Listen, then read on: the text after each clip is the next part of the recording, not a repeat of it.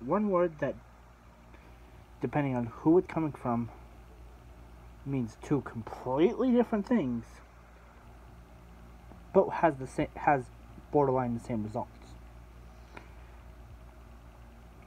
Can get you to do whatever they want. Can trick you into thinking you're the one in charge when really it's them. Can get you to instantly forgive anything they do. And can get you to end up doing whatever they want.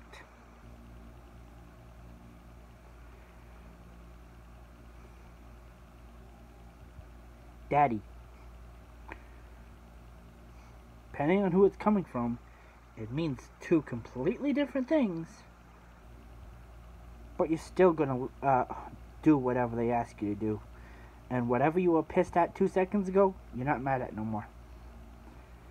But you're supposed to be the one in charge.